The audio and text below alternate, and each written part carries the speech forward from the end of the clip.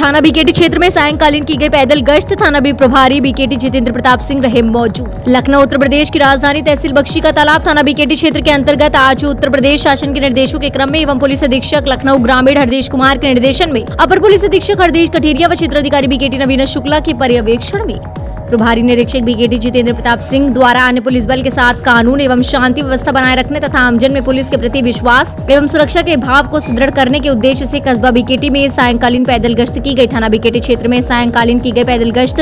थाना प्रभारी बीकेटी जितेंद्र प्रताप सिंह रहे मौजूद व भारी पुलिस बल भी रहा मौजूद।